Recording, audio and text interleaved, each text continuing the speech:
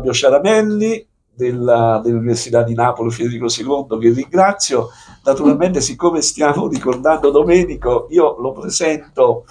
come forse uno dei primi allievi di Domenica, anch'io mi sento uno dei primi allievi, visto un po' come dire l'età anagrafica, però il professor Ciaranelli è stato molto legato a Domenico e quindi gli cedo volentieri la parola. Grazie, grazie all'organizzazione, all'Istituto Culturale Torquato Tasso, ad Aldo Meccariello che mi ha proposto di ricordare, di partecipare a questo ricordo. Io eh, ho deciso di, eh, ho dato un titolo diciamo a questa breve riflessione e, eh, e già il titolo che adesso vi leggo farà capire il taglio dal dissenso cattolico al desiderio di giustizia.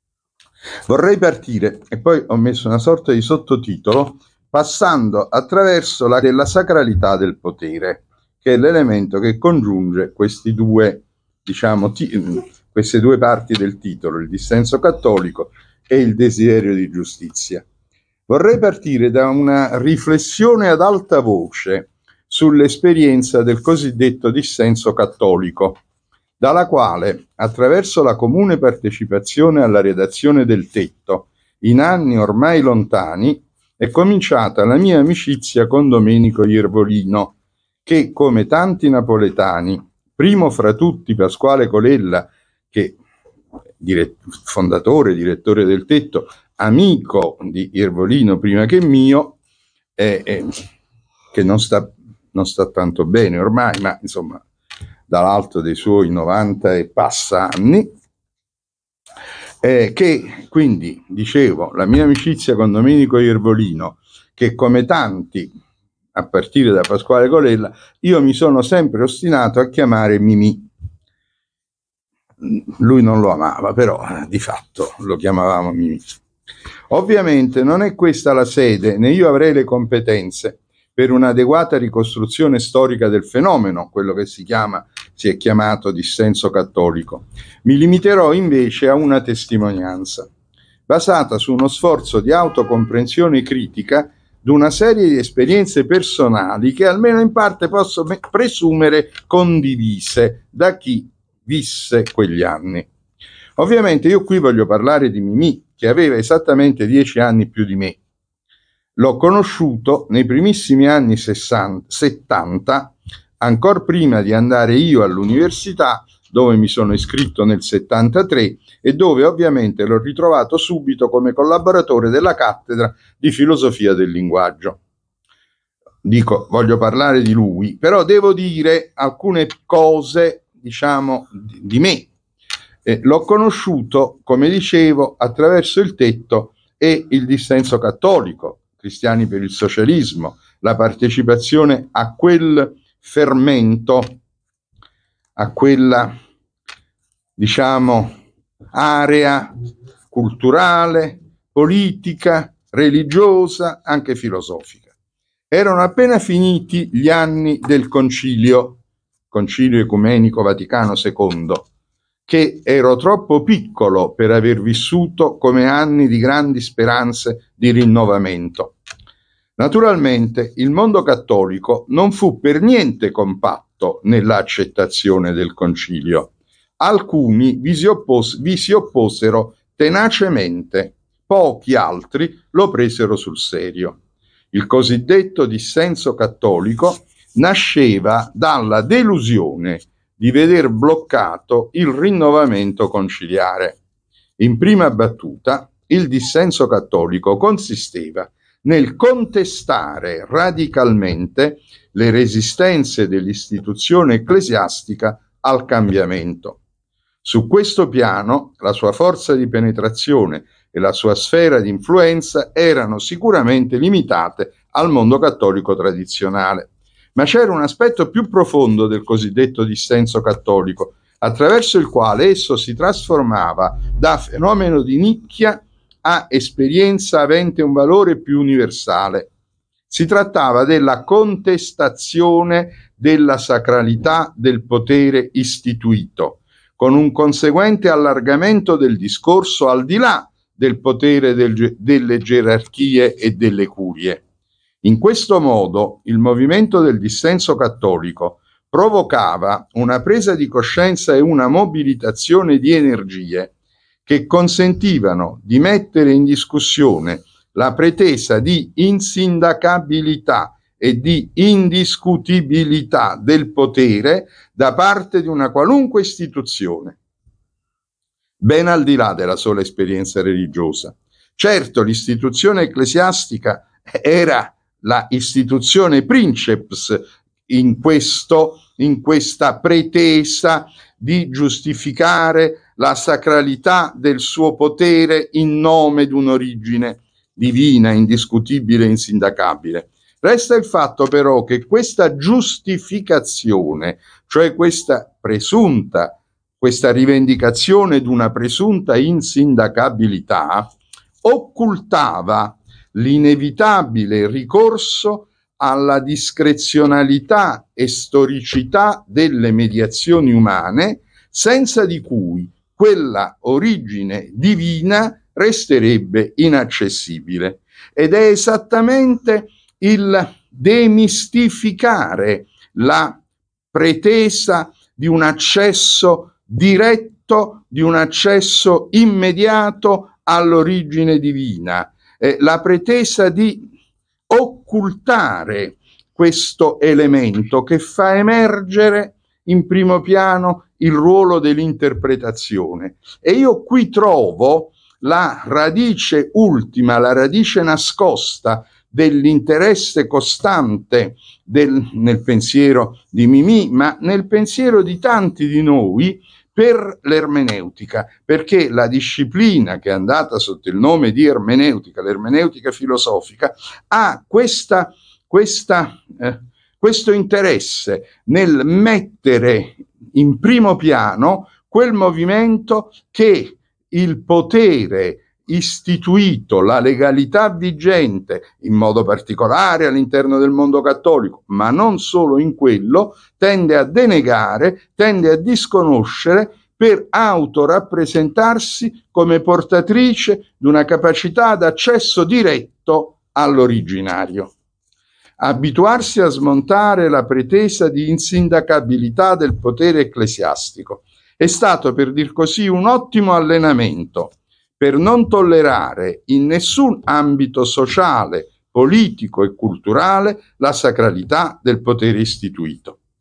A mio avviso è esattamente da qui che nasce una delle motivazioni più profonde e ricorrenti della stessa ricerca filosofica di Mimì. Motivazioni che non hanno mai escluso un intenso e costante impegno critico sull'attualità sociale e sulle sue dimensioni etico-politiche. Il filo conduttore di questo impegno è stata allora una forte e radicale rivendicazione di laicità, nello stesso riferimento alla questione cattolica. Si spiega così l'adesione al tetto, la partecipazione ai cristiani per il socialismo, eccetera. Adesione al tetto, voglio so- soprattutto soffermarmi sul fatto che il tetto rappresentava, rappresentato negli anni 60, quindi ancora prima del momento in cui io ho conosciuto Mimì, ma quando lui invece già aveva aderito al, al, alla rivista che era nata po- poco prima dell'adesione sua alla rivista, eh, la rivista è nata diciamo nei primissimi anni 60 e poco dopo Mimì vi ha fat, ne ha fatto parte, e, e voglio ricordare l'instancabile, oggi scontata, ma allora niente affatto scontata, contestazione dell'unità politica dei cattolici, le battaglie anticoncordatarie, tanto per ragioni civili quanto per ragioni religiose. Su questo piano voglio associare la memoria di Mimì a quella di un altro amico e collega che non c'è più, anche lui professore di filosofia, Francesco Saverio Festa. E poi così, fuori, voglio solo dire una cosa, perché pensando a tutto questo, diciamo, tutto ciò che c'è dietro e anche la sofferenza che tanti, forse noi un po' meno, ma in fondo anche noi, eh, noi molto giovani, noi forse ce ne fregavamo, ma insomma Mimì forse ci rimaneva più ne soffriva di più, ma quello che è stato il rifiuto radicale dell'istituzione ecclesiastica rispetto alle istanze di rinnovamento che il dissenso portava avanti e che per una serie di persone che Mimì ha conosciuto più, più di me, più direttamente di me, io più da lontano. Non so, penso per esempio a come Mimì ha introdotto sul tetto le lettere con le quali Giulio Girardi, eh, come dire, si congedava dall'istituzione che lo metteva alla porta, cioè co- cos'era il, la congregazione dei Salesiani. E, e, voglio ricordare, non so, per esempio, eh, l'esclusione di Giovanni Franzoni. Se uno pensa che quelli che cacciarono queste persone erano coinvolti con la banda della Magliana, seppellivano Renatino De Pedis nella chiesa di Santa Pollinare, facevano questo tipo di operazioni e, e, e allora io ero, ero, più giovane poi ma alcuni ci sono rimasti ecco è una cosa che secondo me dovrebbe fare indignare dovrebbe, dovrebbe cioè era la, la, chiesa che copriva i pedofili che, che, che eh, abbiamo ricordato prima, eh, eh, metteva eh, un, una, un, silenzio di tomba sul, sulle eh, iniziative di, di, di, quel porco di Marcel Macial. Ecco, eh, tutta, e, e, poi la rivendicazione della sacralità del potere e, la, e, e, e il rifiuto, l'emarginazione del dissenso cattolico. Va bene. Dalla stagione del dissenso, questo è diciamo un, un elemento che, che mi, mi viene quasi ogni volta che ci penso, no, dico ma com'era possibile che poi ci fossero ci fosse questo e, e, si pretendeva che ci fosse con quella gente, con quella genia, eh, una sorta di comunità. Ma che comunità vuoi avere con quei... Vabbè. Dalla stagione del dissenso deriva quindi anzitutto la volontà di non accontentarsi delle giustificazioni ideologiche del potere, tanto religioso quanto civile, giustificazioni che tro- troppo spesso nascondono le motivazioni di scelte e prese di posizione concrete riconducibili alla logica delle appartenenze e alla salvaguardia di interessi che non sa il coraggio di confessare. Analogamente discende dal riferimento all'esperienza del cosiddetto dissenso cattolico una concezione molto esigente dell'impegno religioso e della militanza politica, una concezione che si rifiuta sempre di mettere a tacere la propria coscienza, cioè la capacità di giudicare i fatti senza l'avallo dell'autorità. In altri termini, non sono autentiche per questo tipo di impostazione che deriva dall'assimilazione delle ragioni del dissenso, non sono autentiche né una religione né una politica che in nome del principio di autorità esigano dai propri adepti di mettere a tacere il desiderio di giustizia che anima la coscienza civile. Ogni volta che la fedeltà a un credo religioso o politico impone il sacrificio del proprio civismo, con la conseguente necessità di nascondere l'indignazione morale, è necessario, anzi eticamente e, politicamente indispensabile, dissentire. Infatti, contrariamente a quanto, a quanto viene contrabbandato come collante necessario dell'appartenenza a una comunità religioso-politica, sul piano etico non ci sono ragioni istituzionali che possano giustificare atteggiamenti e pratiche moralmente inammissibili e penalmente rilevanti. E questo è il principio di fondo che ha ispirato la denuncia di un certo atteggiamento ecclesiastico di silenzio, indifferenza e sottovalutazione della delinquenza organizzata, camorra e mafia, o della pedofilia, e dall'altro lato il rifiuto dell'antropologia dell'appartenenza, troppo spesso praticata anche dai partiti della sinistra, mirante esclusivamente all'occupazione di posti di potere allo scopo di meglio blindare il consenso. Qui si tocca una sfera che esula, prescinde e precede l'accertamento delle responsabilità penali sempre individuali che vanno lasciate agli organi competenti. Tocca viceversa alla vigilanza e all'attenzione critica dell'opinione pubblica che deve esprimersi ben prima delle sentenze dei tribunali, combattere la zona grigia dell'acquiescenza culturale e sociale, della pigrizia e del lassismo. E questo era, credo, il senso profondo del movimento del dissenso. È innanzitutto sul piano etico-politico dell'impegno intellettuale che l'ispirazione originaria del dissenso cattolico resta attuale. Questa attualità è resa necessaria dal fatto che non sono molti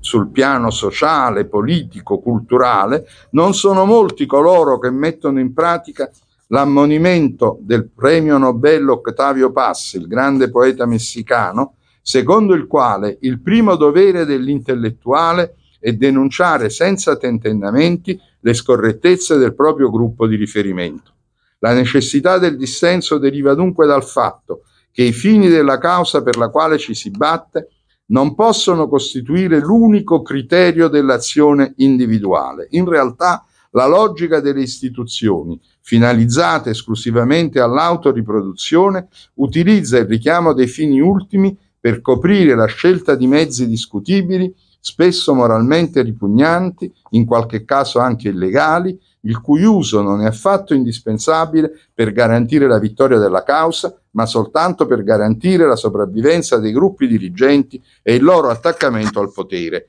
Questo atteggiamento che deriva dal, dall'esperienza del dissenso cattolico diventa una linea di condotta anche nell'esperienza politica. L'eredità del dissenso e quindi la sua attualità che ci invita a lavorare sulla zona grigia dell'acquiescenza passiva al potere e alla sua presunta sacralità.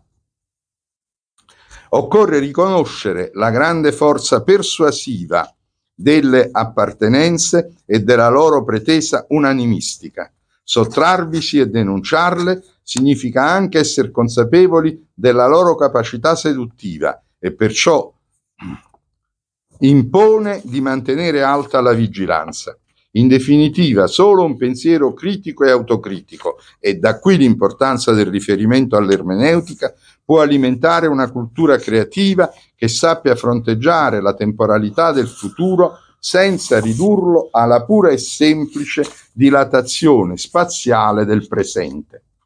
Il dissenso cattolico entrava in polemica con l'autorità ecclesiastica proprio perché quest'ultima presumeva di chiudere una volta per tutte la discussione sul potere, cioè presumeva di chiudere una volta per tutte lo spazio dell'interpretazione. E poiché in questa, diciamo, sezione di questa giornata di commemorazione de, de, del lavoro di Mimì dobbiamo occuparci in modo particolare della sua eh,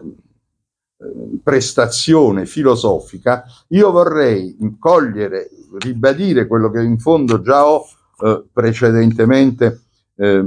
evocato, che è da quello che ho detto finora che nell'itinerario più propriamente filosofico di Mimì emerge l'attenzione alla filosofia senza assoluto. Questa è la formula che Mimì ritrova nel filosofo Tevenà e, e che è uno dei filosofi ai quali si è dedicato, che ha studiato e che, di cui diciamo, ha riproposto l'opera, un'opera non così ampia, non così eh, imponente come quella per esempio di Ricoeur a causa del fatto che poi Tevenà morì eh, eh, e quindi non aveva eh, eh, diciamo compiuto, potuto produrre un'opera molto vasta, ma è proprio appunto l'idea di una filosofia senza assoluto è quella che poi muove anche la sua attenzione eh, filosofica e addirittura l'amicizia personale per Ricoeur e per la sua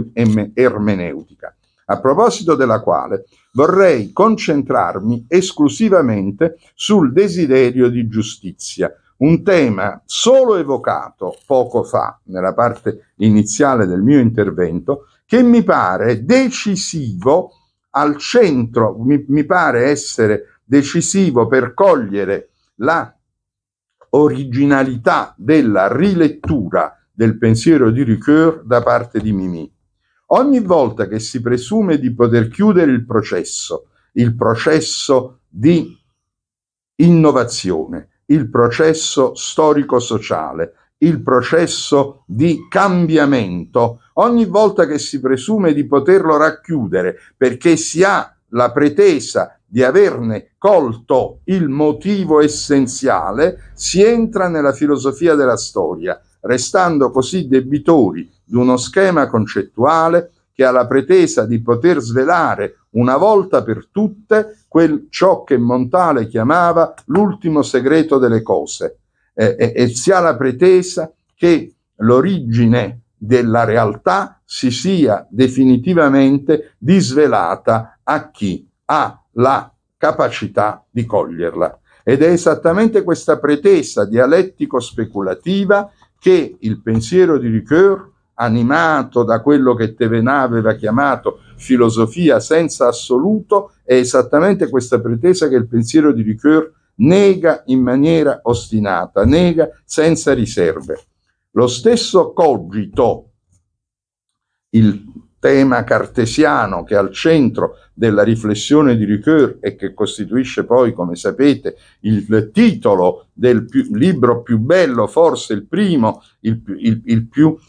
compiuto che Mimì ha scritto su Ricoeur e che si chiamava Il cogito e l'ermeneutica, ecco, lo stesso cogito, prima che, attesta- che attestazione ontologica, è sforzo e desiderio di essere. Ben inteso però deve trattarsi di un desiderio che non ha niente di nostalgico, cioè di un desiderio che non aspira a ritrovare l'intimità di una immediatezza perduta, ma che è mosso dal sogno, che non è mosso dal sogno di una pienezza primordiale, che non mira a ritrovare nessuna coincidenza di realtà e idealità, ma che invece è spinto dal progetto, dal desiderio appunto di realizzare qualcosa di nuovo. Ritorna qui la centralità ermeneutica del linguaggio che è stata evocata prima, cioè delle molteplici elaborazioni simboliche con cui le culture umane elaborano i significati dell'esperienza e le motivazioni delle azioni soggettive.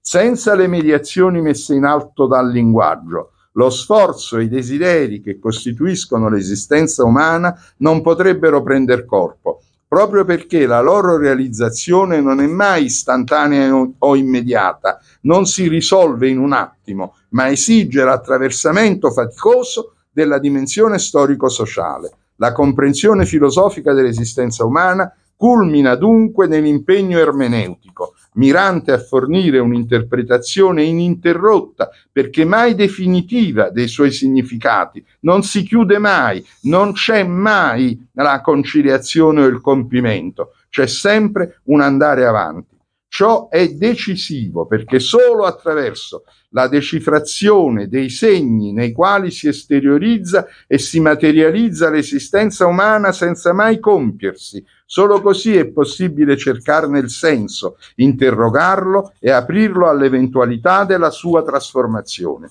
In tal modo l'opera di Ricoeur, nella rilettura originale di Mimì, coniuga in modo fecondo l'attenzione per il soggetto e l'interesse per la storia. Non a caso Ricoeur ha sempre rivendicato e ribadito l'originalità e la creatività delle manifestazioni storiche e culturali dell'esistenza, si pensi per esempio a lungo in confronto con Freud, ma al tempo stesso la sua riflessione ermeneutica non dimentica mai che la creatività umana ubbidisce a delle regole ed è proprio la presenza di regole invarianti che rende legittimo e necessario il ricorso alla dimensione metodologica delle scienze umane, trascurata dal filone heideggeriano-gadameriano dell'ermeneutica novecentesca. Negli ultimi anni la ricerca di Ricoeur si è decisamente orientata verso una ermeneutica della condizione storica. Questa è una formula usata da Mimì,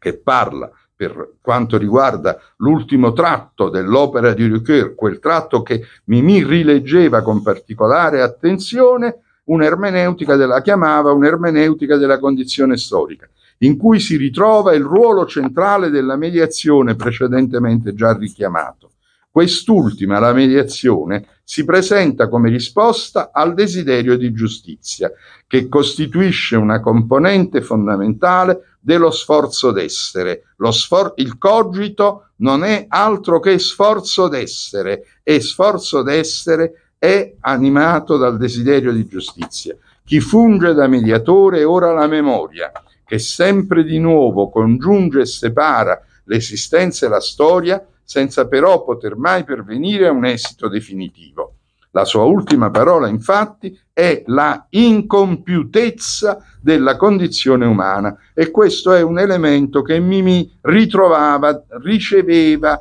anche già da uno dei suoi primi maestri, Pietro Piovani. Ecco perché solo un desiderio non nostalgico può aspirare alla giustizia, solo un desiderio che non parte dal presupposto di ritrovare una compiutezza perduta e quindi di mirare al ricongiungimento del, nella compiutezza. Un desiderio non nostalgico può aspirare alla giustizia. Solo esso, quest'ultima va distinta tanto dalla conformità alle leggi quanto dal senso del dovere morale e soprattutto va ribadito che la giustizia non è una caratteristica logica o sostanziale di cui sia o sia stato o possa un giorno essere accessibile un modello ideale e perfetto. La giustizia è sempre e soltanto un attributo dell'esperienza sociale e storica, al cui interno essa di volta in volta emerge come aspirazione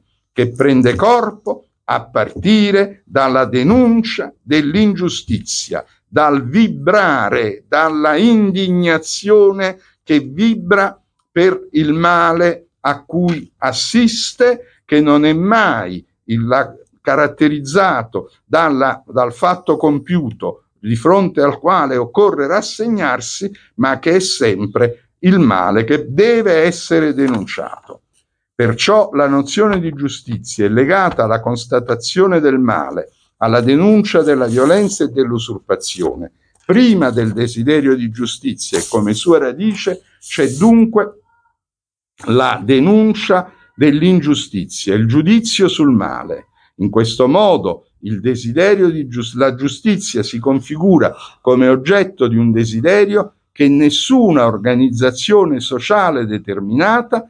potrà mai saturare in questa direzione vanno le parole di Castoriadis che ora rileggo e che, diciamo così, costituiscono il senso ultimo del mio breve intervento. Giusta non è la società che ha adottato una volta per tutte leggi giuste, una società giusta è una società in cui la questione della giustizia resta costantemente aperta, cioè resta costantemente oggetto di un desiderio che non si satura, in altri termini, in cui vi è sempre la possibilità socialmente effettiva di sollevare l'interrogazione sulla legge vigente e sul suo fondamento.